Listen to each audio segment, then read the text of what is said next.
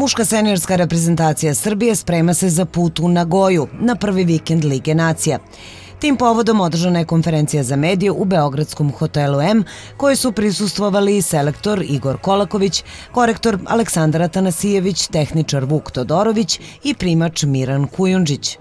Kolaković je imao plan za Ligu nacija, ali kao što je rekao na konferenciji, pravi planove da ti se Bog smeje, tako da su povrede i virus donekle osujetile prvobitni plan.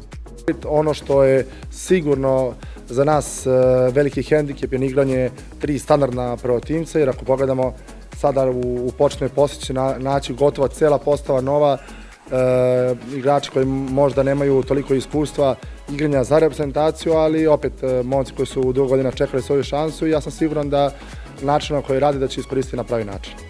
Pa iskreno mislim da smo pogotovo u zadnjih nekoliko dana osjetili onako podizanje forme i podizanje nivoa kvalitete i tehničkog i taktičkog, tako da mogu s te strane biti zadovoljan sa grupom koja je to, koja je to radila.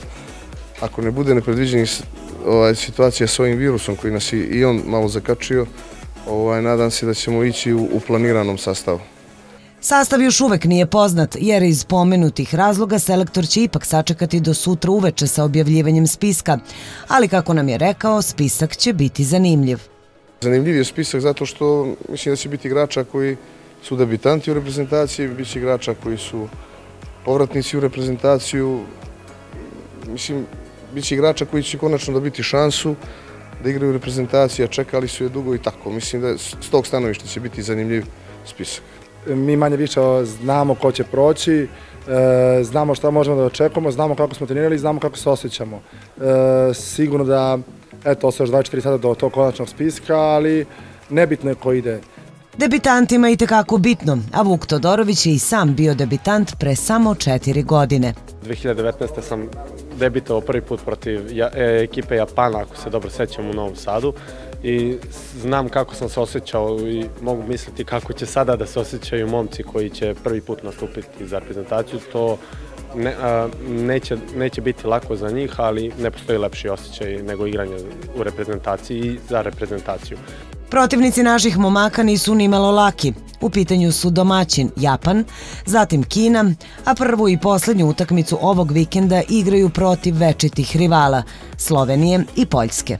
Slovenci idu sa najjačim sastavom, osim Vinčića koji je ovaj, na, operisao lakat, a Poljaci će biti u nekom, da kažem, kombinovanom sastavu, ali to je ekipa koja ima visok kvalitet, to su sve provjereni igrači, svetski prvaci i u ovoj reprezentaciji ima igrača koji vjerojatno neće biti na evropskom prvenstvu, a bili su svetski prvaci. Tako da to govori samo o tome da ćemo imati težak zadatak, ali ja sam već i rekao na konferenciji težak, ali jako izazovan. Mislim da su i momci spremni za izazove. U početku VNL-a obično je motivacija ta koja odlučuje ko će biti više utakmice, jer nema nijedna reprezentacija previše narađenih stvari, nema nijedna reprezentacija uh, tu uigranost koja će sigurno imati na Final Eight turniru i eto, mislim da tu možemo da tražimo našu šansu i siguran sam da upravo radom koji je iza nas, nekih 20 dana, imamo, imamo pravo da se nadamo pre svega dobrim igrama u Japanu. I mislim da će to sve biti kako treba ovog prvog vikenda, da želja sigurno neće izostati kroz taj, taj neki dobar, da uhvatimo jedan dobar ritam i, i da bude dobra, dobra energija i mislim da će biti i dobrih rezultata. Seniori put Japana kreću u subotu 3. juna, a prvu utakmicu protiv reprezentacije Slovenije igraju u sredu 7. juna.